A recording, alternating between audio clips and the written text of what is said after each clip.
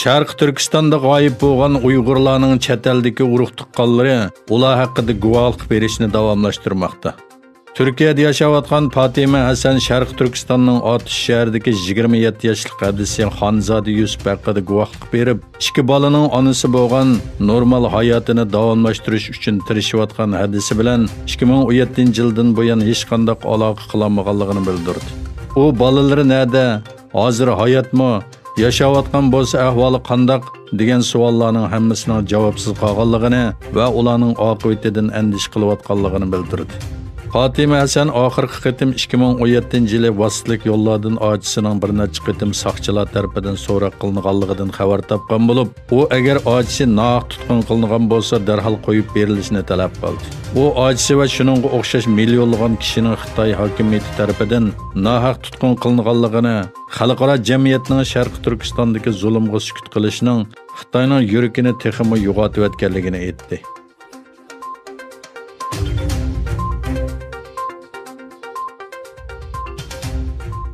Yaqindan buyon dunyoviy donliq markalarning Xitoydagi ta'minlash zanjirida Uyg'urlarning majburiy emgak silinganligi xalqaro jamiyatning kuchli noroziligini qo'zg'adi. Nyu-York vaqt gazeti 21 iyul e'lon qilgan maska taqamsiz temasidagi tadqiqotimiz Xitoy hukumatining talash tortishlik siyosatining Uyg'urlarni majburiy emgak sog'anligini o'ttirg'a chiqadi. nomli maqolada Amerika Kengash palata a'zosi Marko Rubioning Xitoy virusidan kelib chiqqan krizis jarayonida Xitoy hokimiyati Uyg'urlarni majburiy emgakka silish orqali Amerika ta'minlash zanjirini bulg'idi degan so'zlarga yer berildi нью йорк вакыт гезити Қытайда иштеп чыгарылган маскаларның һәммәсенең мәҗбүри әмгәк сыйланган уйгырлар тарафыдан иштеп чыгарылганлыгыны ва дөньяви маркаларның Хытай компартиясы садыр кылган инсаниятка каршы җинаятьгә кандак шәрик булганлыгын отырга койды.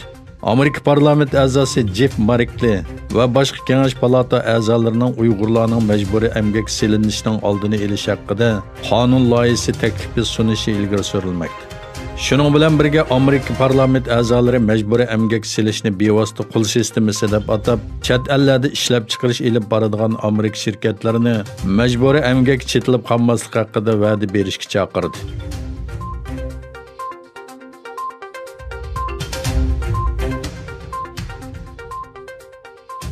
қолға іліш бұйрығы чықырылғандан кейін Американың Сан Франциско шәһәріндегі Қытай баш елшіханасына панахланған Қытай пұқрасы Таунжуан қолға алынған.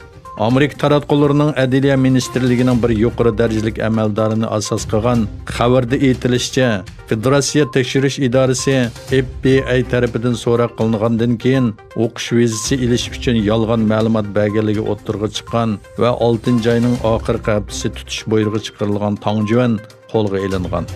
Amerika Adliya ministrligi tunugun e'lon qilgan bayonotida Amerikada biologiya fanlarida o'qish uchun viza iltimos qilganda azaldan hech qanday g'arbiy mashq qabul qilmaganligi to'g'risida yolg'on guvohlik bergan Tongjon haqida tutish buyrug'i chiqarilganligi uqtirilgan edi. Bayonotda 6-oyning 26 kuni Tong haqida tutish buyrug'i chiqarilganligi, ammo Tongning Xitoyning San Fransiskodagi bosh konsulxonasidan panohlik tilaganligi va uning yanada shu yerda ekanligi ta'kidlangan.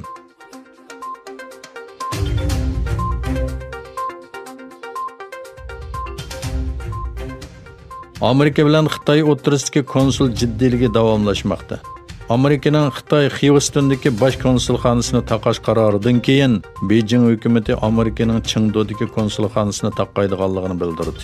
21 iyul Washington Xitoydan Xivistondagi konsulxonasini taqashni talab qildi. Amerika tashqi ishlar ministri Mike Pompeo bu haqda bayonot e'lon qildi. Pompeo Xitoyning konsulxonani jasuslik markazi sifatida ishlatadiganligini bayon qildi.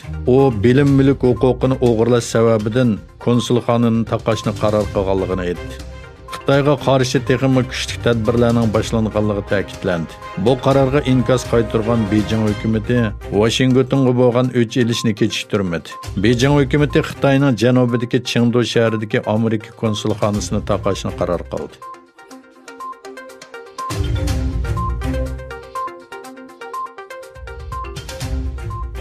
Aya Sofiya masjidida 86 yildan keyin tunji juma namozi o'qildi. Turkiya davlat raisi Erdo'g'an bu yer endi asli holatiga qaytdi, masjid qaytadan masjid bo'ldi dedi. Aya Sofiya muzeyidan masjidga o'zgartirilgandan keyin tunji juma namozi o'qildi. Namozdan burun 4 munordan 4 muazzin azon o'qidi. 86 yildan buyangi tunji xutbani Turkiya diniy ishlar idorasining boshlig'i Ali Arbash apandi o'qidi. U qilish bilan munbarga chiqib, Aya Sofiya Fatihning simvoli, Fatihning omonati nomli xutba o'qidi. U xutbasida Aya Sofiyaning ibodatga echilishi Masjidi Aqsa boshchiligida yer yuzidagi barliq g'irb masjidlarning va mazlum mu'minlarning obi kavsarga erishishidir dedi. Erdoğan Aya Sofiyani insoniyatning bir madaniyat merosi, har xil dinga e'tiqod qiladigan kishilar kelib ziyorat qila oladigan yer deb atadi.